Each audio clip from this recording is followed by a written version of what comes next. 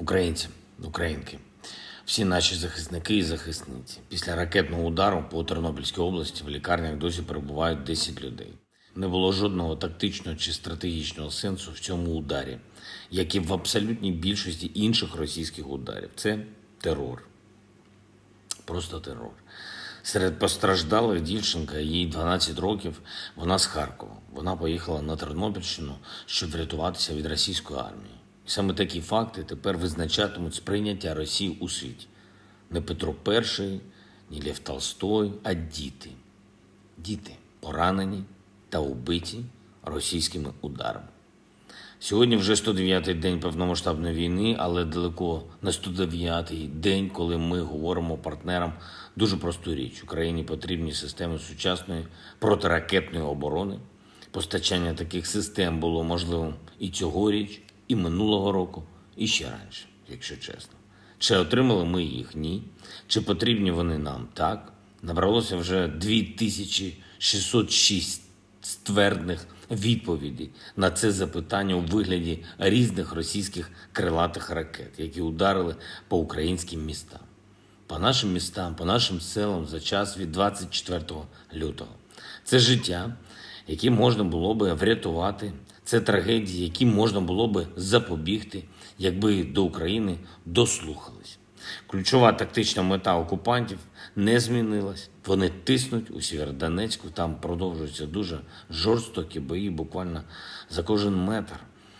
А також тиснуть в напрямку на Лисичанськ, Бахмут, Слав'янськ тощо. Російська армія пробує завести на Донбас резервні сили, але які в них можуть бути резерви зараз? Схоже, спробують кинути в бій слабо підготовлених строковиків і тих, кого зібрали за рахунок прихованої мобілізації.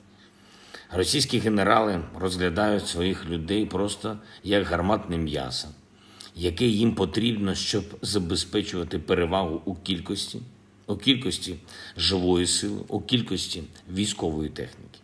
І це означає лише одне: Росія ще в червні може перетнути межу в 40 тисяч своїх втрачених військових. В жодній іншій війні за багато десятиліть вони стільки не втрачали.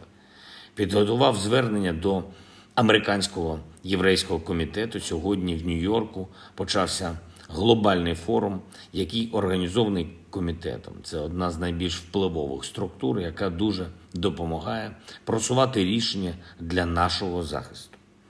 Закликав їх ще подвоїти зусилля, щоб ми отримали більше сучасної зброї, більше фінансової підтримки для нашої держави, щоб ми могли швидше закінчити цю війну. На тижні продовжу звертатись до парламентів країн-партнерів, зокрема до парламенту Чехії. Заплановано і багато переговорів різного рівня з нашими європейськими політиками. Щодня працюємо з Євросоюзом щодо кандидатського статусу для України і нашою державою зроблено все заради позитивної відповіді. Питання лише в рішучості, в рішучості деяких європейських лідерів. Продовжимо роботу для полегшення доступу українських товарів на усі важливі ринки світу. Вже скасовані мита в торгівлі з Європейським Союзом. Сполучені Штати Америки вже застосовують безмитний режим для української сталі. Канада скасувала мита. Такий же режим запрацює найближчим часом з Британією. Очікуємо лібералізації торгівлі від Австралії. Сьогодні, сьогодні розпочалась міністерська конференція членів Світової організації торгівлі. Перед її початком представники 57 держав зібрались на спеціальний захід, захід солідарності з Україною. І я вдячний їм, кожному і кожній за це. А за результатами цієї міжурядової конференції дізнаємось, зокрема, і строки ухвалення рішення про торговельні послаблення для України ще від Швейцарії, від Норвегії, Ліхтенштейну, Ісландії. Тож тиждень буде серйозним, і я вірю, що будуть хороші новини для України.